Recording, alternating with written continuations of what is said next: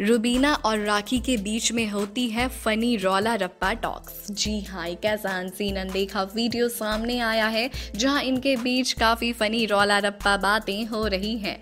होता ये है कि जो रुबीना दिलेक है, वो काढ़ा बना रही होती है और वो चीज़ राखी सावंत को जल्दी चाहिए होती है। राखी सावंत रुबीना से कहती हैं कि, रुबीना, मुझे जल्दी काढ़ा चाहिए, फिर मुझे रारा करना है। और उसके बाद उनके प्रोनाउंसिएशन को सही करने की कोशिश करती हैं रुबीना दिलेक। और कहती हैं कि ये रौला होता है, रौरा नहीं होता। और राखी सावंत जल्दी इस प्रोनाउंसिएशन को पकड़ नहीं पाती। वो ऐसे कई वर्ड्स ट्राई करती हैं और कुछ अटेम्प्ट्स के बाद जाके वो इसे सही प्रोनाउंस करती हैं और फिर वो बोलती हैं रौला रप्पा। और इसके बाद वो जाके डांस करने लगती हैं और उनका जो डांस है वो उन्हीं पर पड़ जाता है भारी क्योंकि राखी सावंत गिर जाती हैं, जिसके बाद अभिनव शुक्ला उन्हें आते हैं उठाने के लिए। और इस तरीके से ये काफ़ी मस्ती करते हुए नज़र आते हैं।